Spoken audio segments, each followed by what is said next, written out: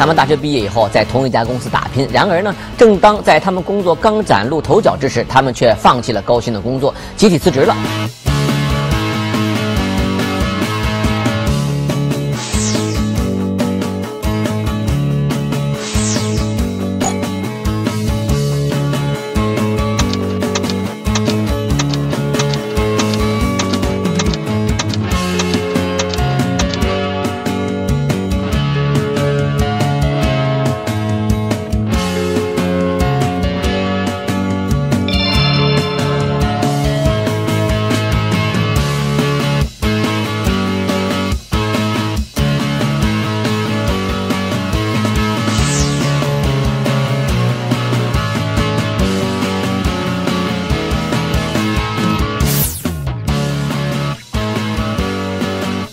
乔布斯、俞敏洪、马云、刘强东，让我们把现在呼风唤雨的大佬们打回原形，看看当他们的创业梦还是白日梦时是副什么模样。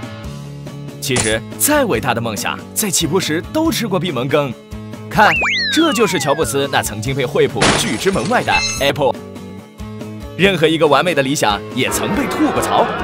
现在叱咤中国的京东，曾经只是中关村里的一个小柜台。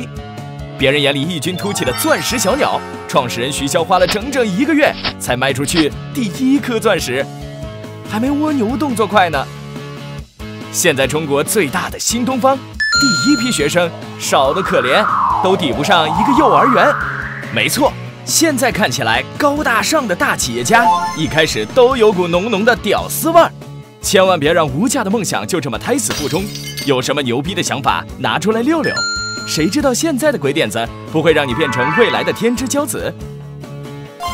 澳大利亚新南威尔士大学创业大爆炸，让有才华、有胆识、有魄力的少年，怀揣价值四万七千澳币的创业扶植，赢在创业的起跑线上。获胜者还可获得在新南见面会上一展风采的机会哦。